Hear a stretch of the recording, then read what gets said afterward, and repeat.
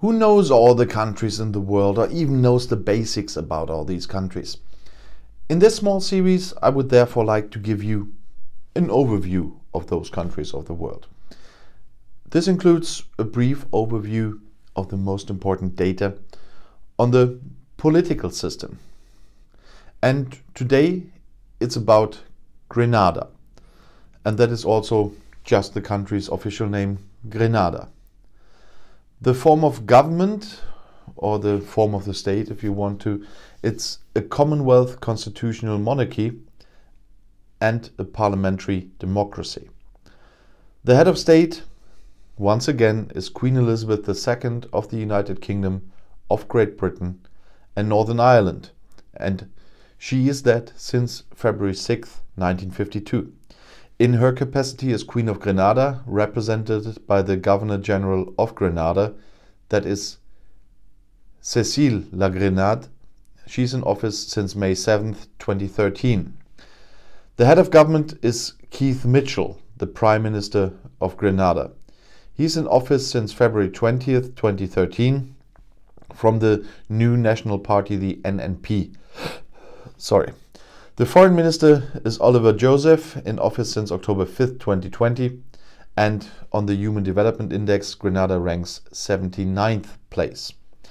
Grenada is a member of the Commonwealth of Nations, CARICOM, OECS, AOSIS, OAS, and CELAC, and is one of the sponsors of the University of the West Indies. As a Commonwealth realm, Grenada is a monarchy under the British Crown so, as I said, the British Queen Elizabeth II is also Queen of Grenada and its head of state. The British Crown is represented by a Governor General, and this is with the full name Dame Cécile Ellen Fleurette La Grenade. The real executive power rests in the hands of the Grenadian Prime Minister. This is formally appointed by the Governor General. As usual in parliamentary democracies, the head of government is determined on the basis of the political balance of power in the parliamentary elections. Usually, the prime minister comes from the strongest party in parliament. The parliament consists of a senate with 13 members and a House of Representatives with 15 members. The senators are appointed by the government and the opposition, while the representatives are elected by the population in five year terms. The new National Party, the NNP, won all 15 seats in the elections on March 13, 2018, as in the previous legislature. The National Democratic Congress, the NDC, which ruled from 2008 to 2013, came away empty handed. Keith Claudius Mitchell of the NNP, who ruled the country from 1995 to 2008, has been Prime Minister again since 2013.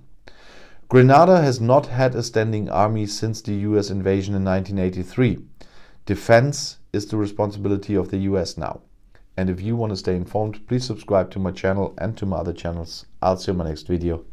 Auf Wiedersehen.